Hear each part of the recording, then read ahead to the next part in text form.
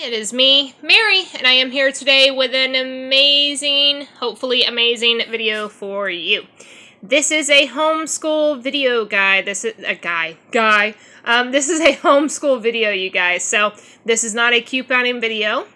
So I do have a lot of people on my page who homeschool their children or are looking to homeschool. And seeing as how this is my first year, I really wanted to use this as an opportunity for all of us to grow together because I know there's a lot of people who have invaluable information. I'd love to learn from you. And maybe I can help you guys out some too. Probably not. But hey, it's worth a try, right? Let's work together to help promote uh, the best education that we can for our kids. So anyways, last week I provided the information on this logbook here for you. Um, and here we go, just in case you did not see this last week, and I know some people actually ordered this book, so it's pretty neat. I bought this out of my own money. It's not a you know paid review. I just want to help anybody I can, and I think this is a great tool. Um, so that's my daughter Marie, and I'll just let you see what we did last week here. I didn't get this book till Wednesday, so you'll only see it from Wednesday. But something I want you to note is that I had tests for her to do. And within her test, once she got um, her grades, the fun thing about this is you have a great way to actually chart the test. And then you can continue to go throughout the year and basically see how she's doing in her different assignments. So it's a really good deal there. So here we go, guys. Um, this is our weekly lesson plan. I create my own lesson plan. I do not um, use any type of homeschool program, so I don't know if I'm 100%, but I worked really hard in studying everything I needed to make sure that she was at a good level. So I know some classes are hard to come up with, so I thought I'd just go ahead and share. So let's go ahead and look. So this week for home ec, um, which is a fun class to have because not everybody can, um, you know, figure that one out. But anyway, so here we go. Um, this week, what we did on Monday was kitchen safety skills. And as you can see here, there's a time. So what you do is you go to the bottom and you bring down your time that you have so that way you can do credits or anything that you need to do for the year to show that you're meeting the standards. Um, she did making a pot roast. That was 30 minute. We worked over the proper handling of meat products. She had to get in and do some cooking. She made fried rice and stir fry. The meat products took a little bit of a while because there's a lot to go in that we are going to be doing tomorrow how to handle shellfish. As you can see here, there's RESC, so that is research. So uh, when you're homeschooling, you have to do computer skills, so that is going to be done online with computers.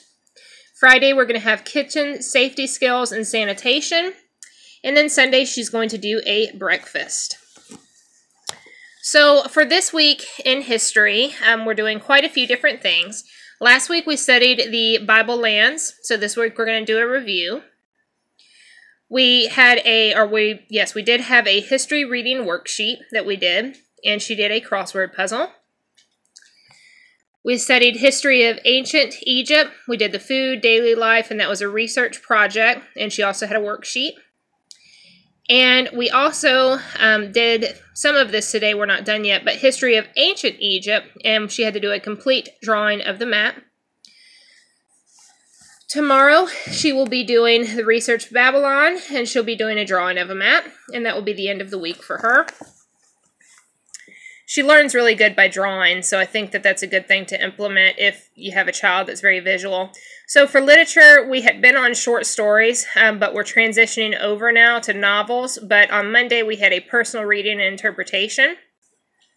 She had to do an outline of what makes a short story, and that was graded. So uh, that was an assignment to where basically she had to put all the key points to show and describe what is a short story. So we had to, on Wednesday, do some research, and that's computer research, on what is a novel. We had to go over novel reading, and she had to read an article, or excuse me, a small novel, and do an interpret full interpretation. So today she did some more novel reading, and these are all going to be different um, stories. Some of them are a little bit longer, so it takes a few days. But anyway, she had to write two uh, descriptive paragraphs. Tomorrow she's doing more novel reading, and she has to do a test on the information for all of the different material that she's read during the week excluding her personal reading.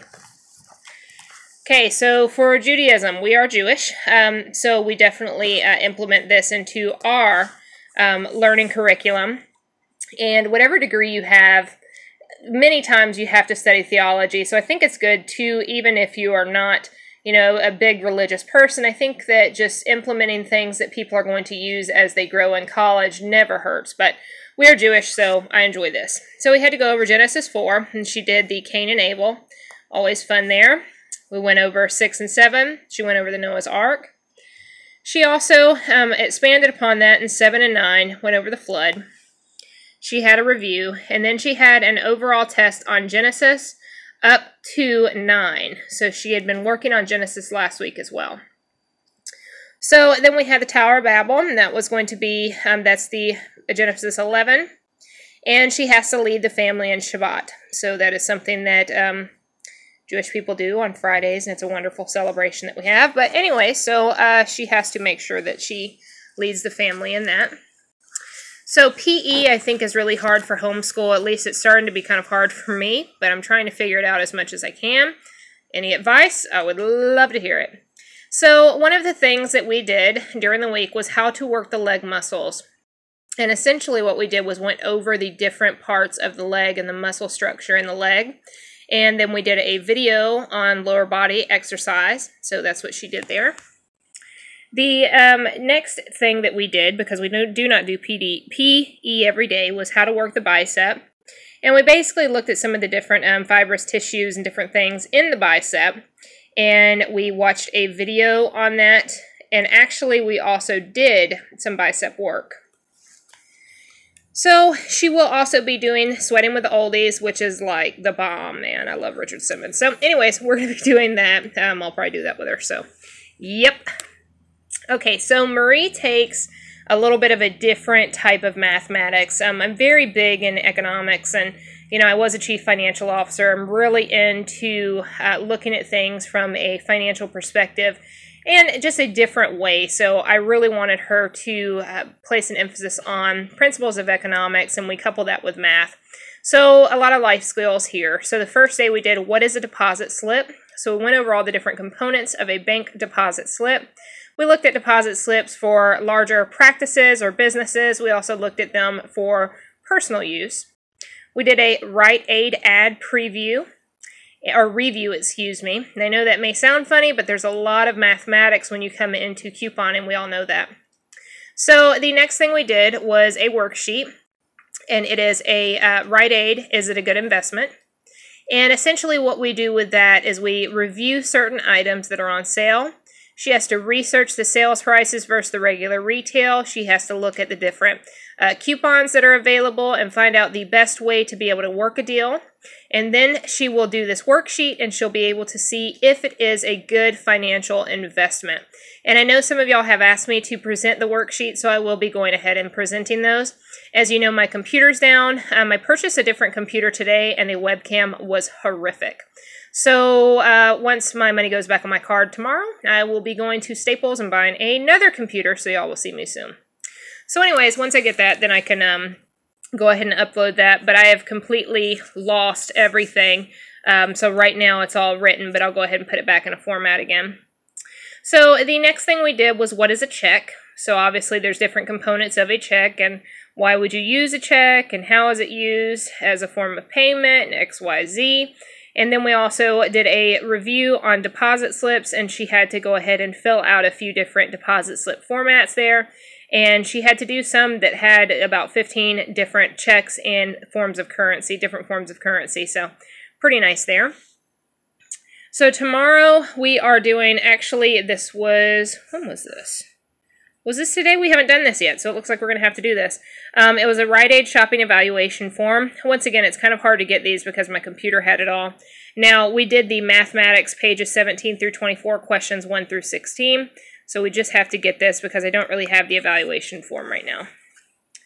Okay, so the Rite Aid Return on Investment worksheet. That's another one that I have now lost since I lost everything on my computer. But I can go ahead from memory and pretty much draw that up for her, so that is planned. We also have a test, which is going to be a math test that I'm going to uh, create. It's going to include just basic mathematics and also some other um, more so just frugal living, principles of finance types of questions. So for Saturday, I know that, you know, it's it's a weekend, but she still does this. We do the CVS ad preview, and she's going to prepare prepare a cost benefit analysis of the ads and what she's going to have and look at that. And we're pretty much going to go on is it a good investment? However, starting out, we always do a um, cost benefit analysis. So she's going to do that. As for science this week, um, we had to study cells. And this is basically, I mean, it's just very introductory. And I think anatomy is a big thing that's very important to me. Um, I just uh, really love that when I went to school, you know, I, I definitely have some different um, educational background and work background.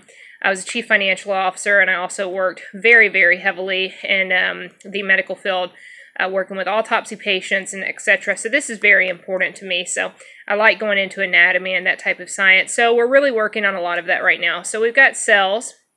Uh, we had to also do five facts, and that is not research because she actually did that in the book. So, something else we worked on this week was breathing, and it's really getting into more so the respiratory system, however, it is titled as breathing. She had to write two paragraphs about oxygen and the bloodstream and how they obviously work together. We worked on the skeleton and we had a full worksheet on that. Didn't get into all of the bones, but we did a basic uh, breakdown. Today she did a overview of the hu human skull, eh, which included a drawing it's a lot of bones in the human skull, so it was pretty fun. Tomorrow she will be working on what makes the female skeleton different from the males, and that's going to be an overall review of what we've done this week because she will have a test next week. For Spanish, we do speak Spanish. I know you're going to think I'm crazy for getting her to take Spanish, but you've got to understand when you clip out of things in college, I clipped out of Spanish uh, in college, and when you do that, some of the questions are relatively hard if you are not um, learning Spanish from a educational type perspective, not just a household. So we worked on numbers 30 through 60. We did a review of days, months, and years. Those are the pages. Worked on numbers 60 through 100, and mostly what that is is spelling, proper spelling. She obviously knows that, but proper spelling. Uh, she did a test on the dates, so that she got a 90 on that test. She worked on numbers, and we pretty much went through the hundreds and thousands at this point in spelling. She also had a worksheet that was due, and that was a um, numbers worksheet. Uh, we did a, another worksheet that basically says days of the week worksheet, and she did a review on dates as well. She also did another worksheet, which is the months of the year worksheet, and we did a what day is it worksheet for our computer sciences, and also I put computer sciences and career studies or um, type of information here. We had to do some novel research online. We did history research. She did the shellfish research. She did an Excel um, sheet, and she also did what else did she do? Um, some science research. Tomorrow she has to do another Excel worksheet. She has to do some science research and history research. And then on Friday, she'll have something to do with the, uh, or excuse me, Saturday, she'll be working on the cost benefit analysis, which is under Microsoft Word. So that is our lesson plan for the week. So if you have any questions or any comments, anything, absolutely, I am here. I hope you enjoy this. And basically, this is our schedule, and that's how we are working out our homeschool program. Y'all have a good one. You have any good tips, please feel free to share.